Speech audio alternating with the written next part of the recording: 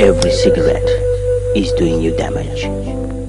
Lungs are like sponges with millions of tiny air sacs for transferring oxygen. Every breath of tobacco smoke attacks them. No wonder smokers feel short of breath. Their lungs are rotting.